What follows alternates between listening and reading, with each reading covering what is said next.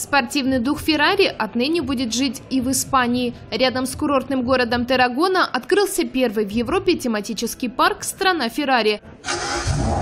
Торжественную церемонию провел вице-президент итальянской компании и сын ее основателя Пьеро Феррари.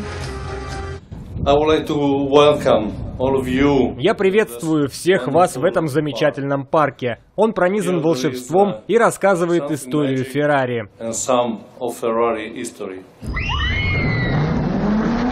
70 тысяч квадратных метров, наполненных адреналином и духом культовых мест знаменитой компании. Посетителей ждут около 10 аттракционов, включая 112-метровую горку Red Force. Любители скорости смогут на ней разогнаться до 180 км в час за 5 секунд.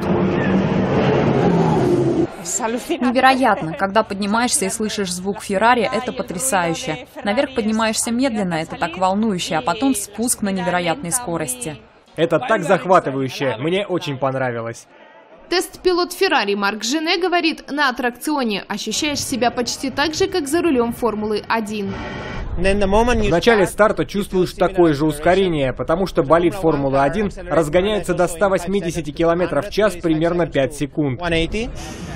Еще один аттракцион, на котором посетители ждут нешуточные перегрузки – башни высотой 55 метров. Есть здесь и гоночная трасса длиной 570 метров. Покорить ее можно на карте – автомобили без кузова.